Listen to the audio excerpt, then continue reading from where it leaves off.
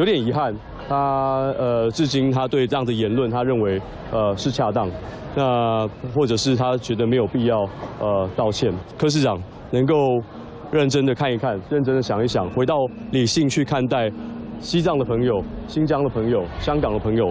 林非凡来参加同志游行，讲话却讲到一度哽咽。原来他和柯批最近隔空开战。林非凡哦，曾经也是年轻人的标杆一下，啊，现在呢，你不足够这个投靠一个一个一个嘛，这个这，对了，我我想想看，怎么用什么字来形容你？这个。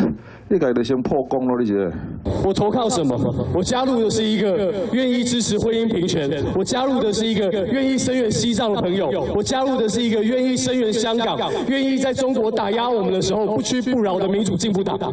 披着象征西藏精神的雪山狮子旗，带着藏人朋友一起出来开记者会，痛批柯文哲的发言毫无人权观念。是哦，那个西藏的喇嘛都用自焚自杀，我，那个那个给中共造成很大的很大的困扰。那那好像一阵子自焚一百多人。我非常难过，我可能觉得市市长他说他了解西藏，我觉得可能不了解西藏。藏人牺牲生命争取自由，伤痛却被柯文哲拿来说嘴，引发公愤。柯文哲的妈妈趁着复选的机会，赶快还家。父母是好人，甲咱咱细细啊喊到一了了了，对我大人嘅几十年的辛苦，啊你搁去自杀，安尼哦，父母若有爹，心会痛。咱敢爱大家自杀，那有就代志。